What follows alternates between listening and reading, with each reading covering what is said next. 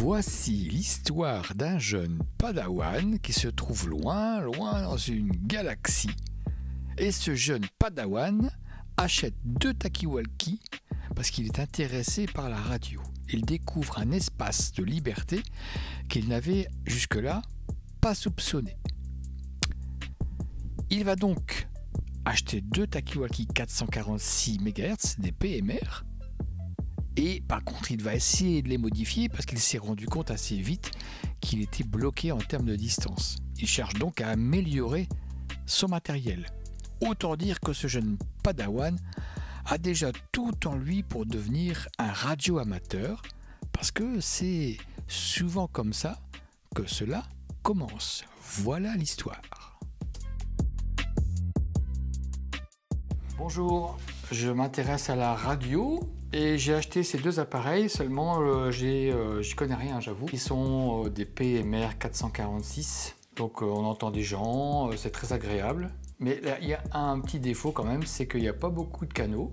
Quand j'ai, switch les canaux, là, j'entends, des gens qui, travaillent, euh, des gens qui se baladent, j'entends tout. Et la portée est très faible, ça décroche assez vite. Donc je me suis dit euh, que c'est parce que l'antenne, en fait, j'ai regardé, hein, des fois les antennes sont beaucoup plus grandes, que je me suis dit qu'il faut mettre une plus grande antenne. Donc j'ai pris un fil, je sais pas si c'est juste, hein, mais j'ai pris un fil électrique euh, de tout, tout bête. Hein.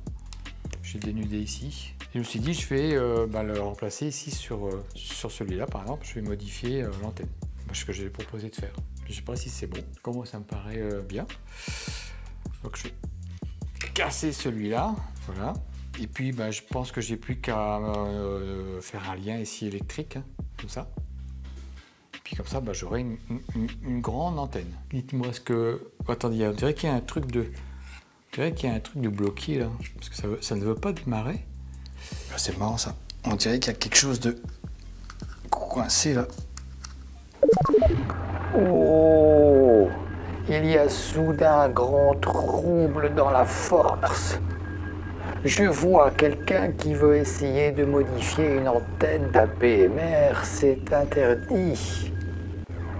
Mais j'ai une très bonne nouvelle pour toi tu vas pouvoir passer ton certificat de radio amateur, modifier toutes les antennes que tu voudras, avoir des puissances bien supérieures, avoir des types de modulation bien supérieurs et avoir une gamme de fréquences extrêmement importante.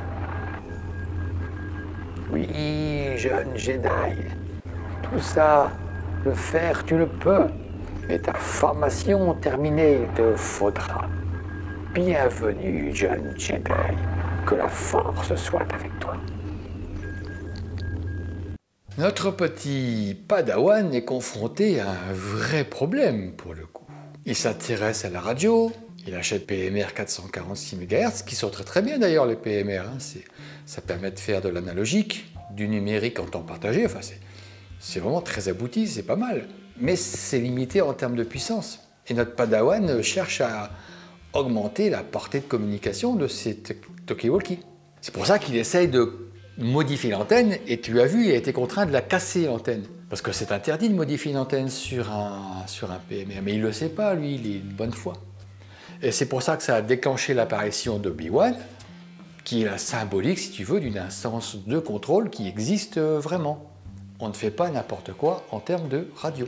On va faire un petit comparatif rapide, par exemple. On va comparer les PMR avec la bande radio amateur qui est voisine, celle des 430-440 MHz, et on va faire pareil côté CB, juste pour voir. Entre la CB c'est 27 MHz et les radios amateurs c'est 28 MHz. Je te propose de regarder ça tout de suite.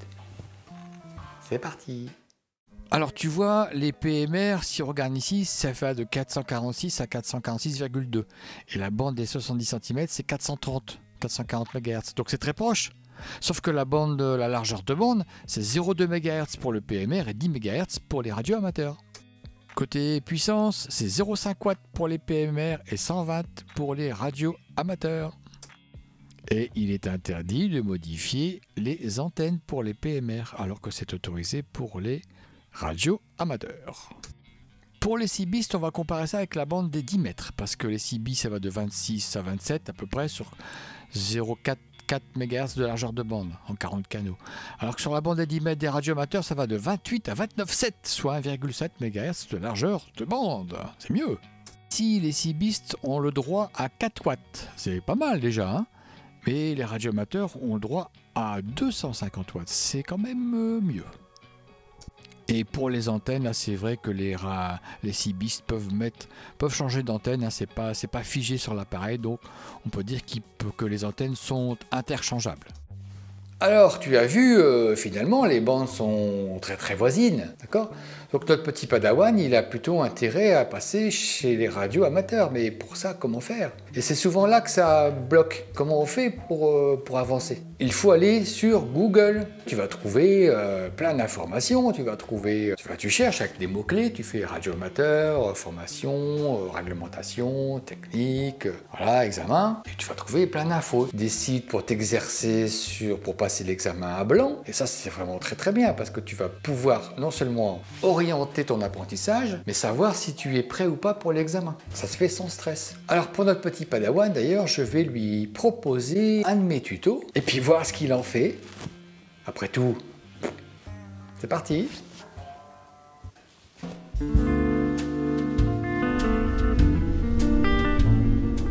Alors, pour faire un doublé demi-onde, il te faut déterminer la fréquence à laquelle tu vas travailler. Nous allons prendre 440 MHz.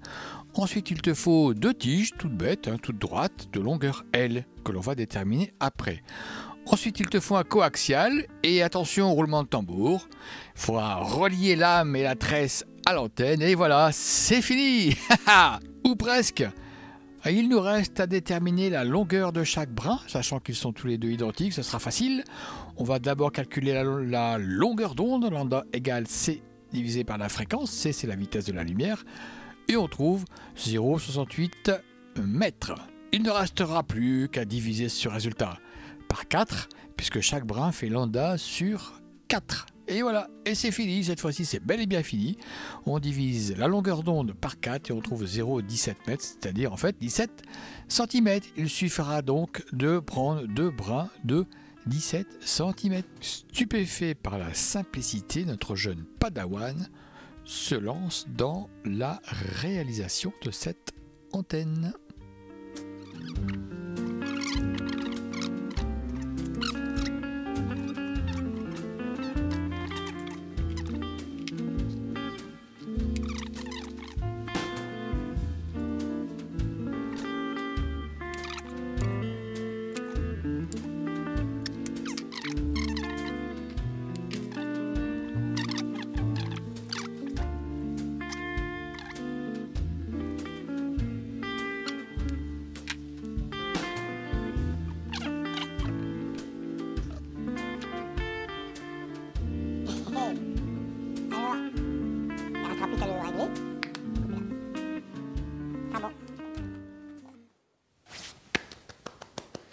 Bravo le petit padawan, très très bien.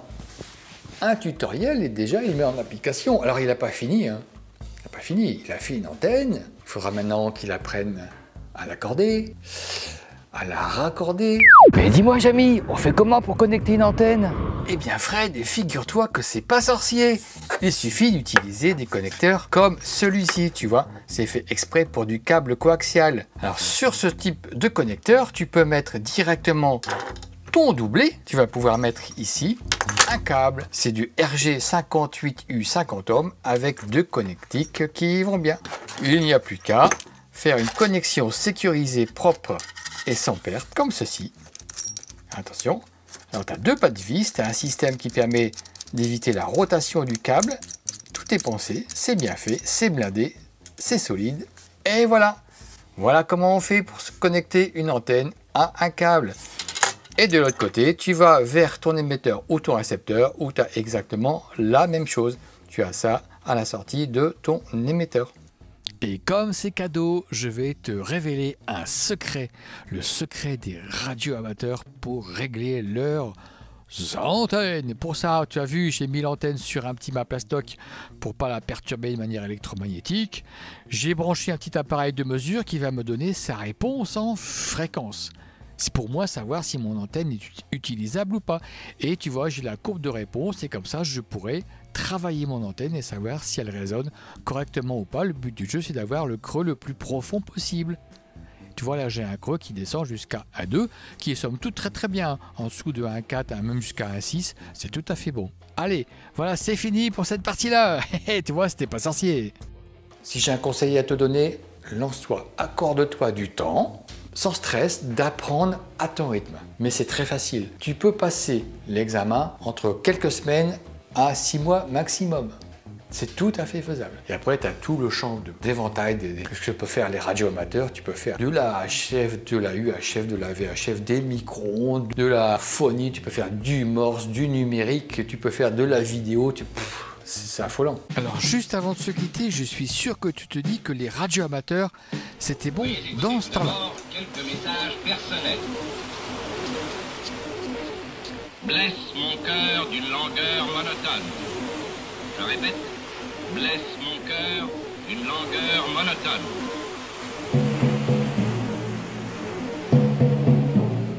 Bon, ma foi, tu as raison, c'est vrai que les guerres de nos jours, et à nos portes de l'Europe, il n'y en a plus, c'est fini. Des catastrophes naturelles, ben c'est fini, il y en a peut-être un petit peu de temps en temps, mais euh, Bon, pareil, euh, c'est fini. Et puis, est-ce que tu crois qu'une société à la pointe de la technologie, une société mondiale, va se lancer dans le développement d'un talkie Non mais un peu sérieux! Un peu de sérieux eh ben oui, un peu de sérieux. Ben oui, la radio, ça dépasse de très très loin l'idée qu'on en a. Alors profite de cette journée, apprends et lance-toi. Et bienvenue sur les ondes. Allez, salut Bisous bisous Salut